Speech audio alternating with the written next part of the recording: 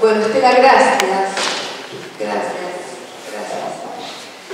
Eh, gracias por, por el sentido político de ese amor, ¿no? Cuando hablabas con tanta insistencia del amor y, las, y estas mujeres que luchan, que luchan, siguen luchando y vienen luchando. Eh, y tal vez tomando ya una discusión contemporánea, como hablaste de estas mujeres estamos luchando hoy por la creación de derechos, por la legalización del aborto, contra la violencia, hay, hay una genealogía femenina, una genealogía en la que nos reconocemos y las abuelas tienen que ver con esa reconfiguración de lo que fue la, idea del amor, porque también el estereotipo del amor fue lo que de, alguna manera decían creer que las mujeres tenían que dar y que también cultivar el amor romántico como un espacio de, de sujeción y, el altruismo de la maternidad como la única realización femenina y todo eso que, bueno, creo que Abuela reconfiguró, nos ayudó a, a resignificar y a politizar esta idea del amor, así que eh, así que gracias. Y, quería subrayar, ya cerrando, eh, la dimensión pedagógica de este acto y del proyecto.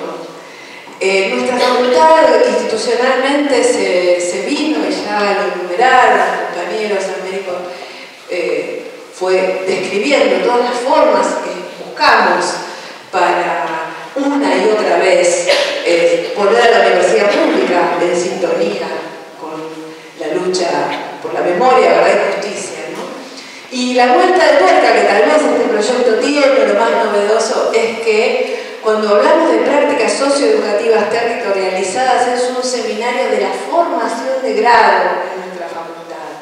O sea, estamos proponiendo a nuestros estudiantes, a nuestras estudiantes, a nuestros estudiantes, un espacio de formación en donde generosamente en abuelas, porque va a ser la sede de abuelas, puedan ponerse en contacto con la metodología, con, bueno, de alguna manera con ese trabajo, pero fundamentalmente con el sentido político del trabajo eh, de memoria. Y en eso sé que sos maestra. Y bueno, yo también. Eh, y, y ahí creo que esta dimensión pedagógica seguramente te puede interesar. Estamos proponiendo que todas las carreras de nuestra facultad tengan un seminario donde puedan formarse y donde este legado de abuelas no solamente se transmita, sino que también se reconfigure, se, se recree y, por supuesto, también podamos hacer múltiples formas de colaboración a futuro. Así que creo que es una enorme alegría cerrar este acto y, y va a ser una enorme alegría volver a encontrarnos en algún otro momento eh, con con las producciones estudiantiles y, por qué no, con, algunas de estas ideas maravillosas que esta usina de, ideas que son estas mujeres eh, nos, traen. Así que les agradezco mucho y agradezco en particular a la cátedra eh, de la la cátedra libre, porque bueno, el esfuerzo y el trabajo sostenido eh, pasa fundamentalmente por, por ese eh, equipo enorme. ¿no? Y bueno, gracias.